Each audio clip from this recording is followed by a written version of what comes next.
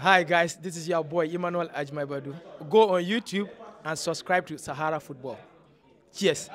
Well, by now, I'm sure you've heard the breaking news. Ghana versus Sudan will be played at the Accra Sports Stadium. Yes, a couple of uh, minutes ago, uh, the GFA officially announced it and attached the letter that came from CAF. CAF are still not satisfied with Cape Coast Sports Stadium. Interesting. Many people's picks uh, for where the venue or the match will be played was the Cape Coast Sports Stadium.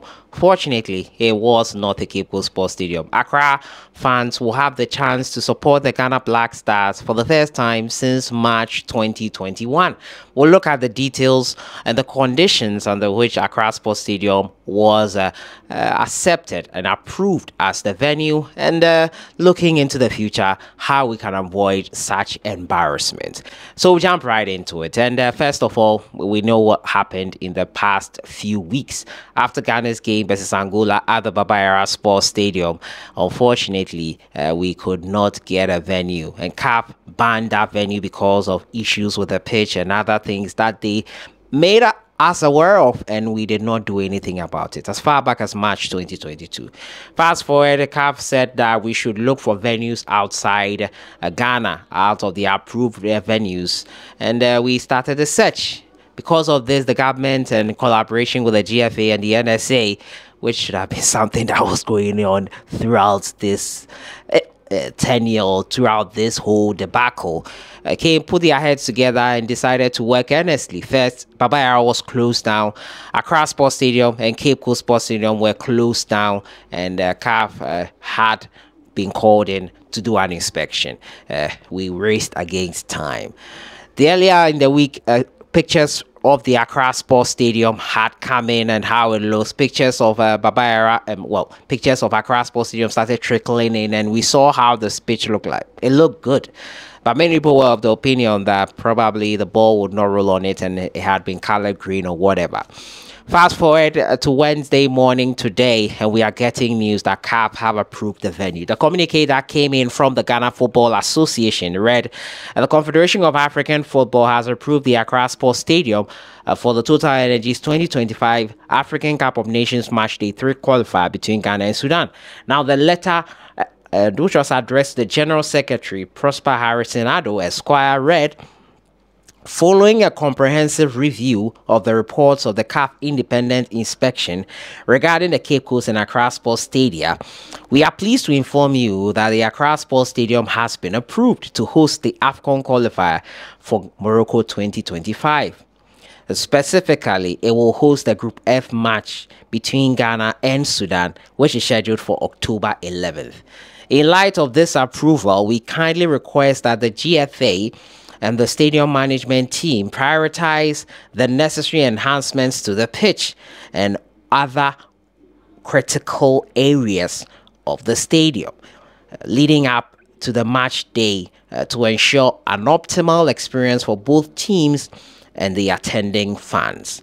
Please note that CAF will continue to closely monitor the readiness of the stadium for the match as well as for future CAF sanctioned matches interesting. So yeah, so some conditionalities have been given to the FA to meet critical areas. The details were not given in this communique that was posted, but I'm sure they are aware of it. And the the CAF mentioned the GFA along with the stadium management.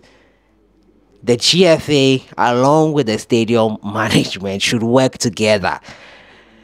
Well, I think you know where I'm going with this. The FA tend to say that they are not in charge of maintaining stadiums and pitches. And rightly so, they are not in charge of it, but they are beneficiaries or they utilize those stadiums for competitions or qualifiers. They are the main utilizers of the stadiums.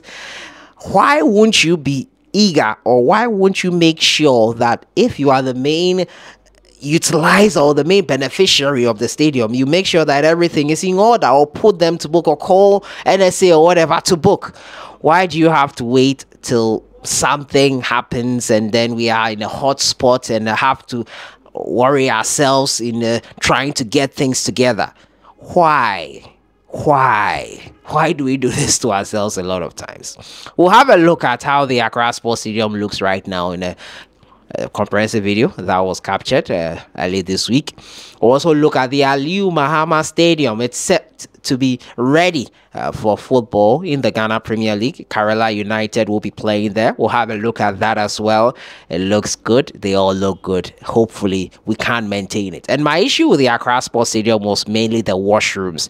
We hope that it has been put in good shape. We hope that everything is in good shape. But let me know your thoughts in the comments box on the decision from CAF. We did not need to get here. We did not need to make this happen before we do the right thing.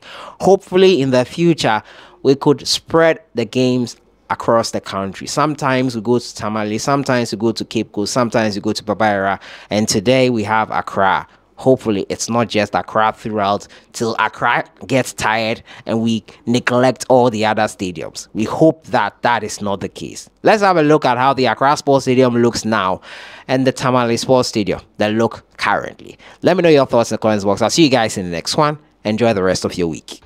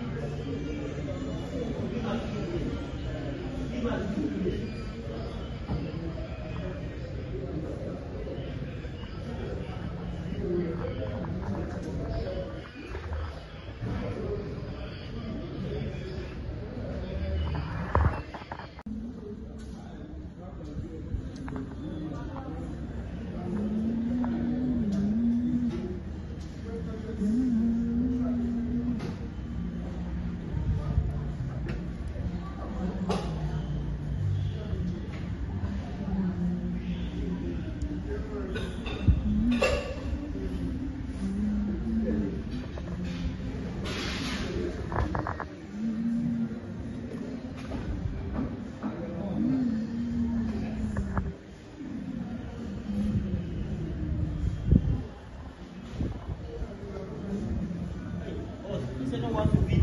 Ha ha ha!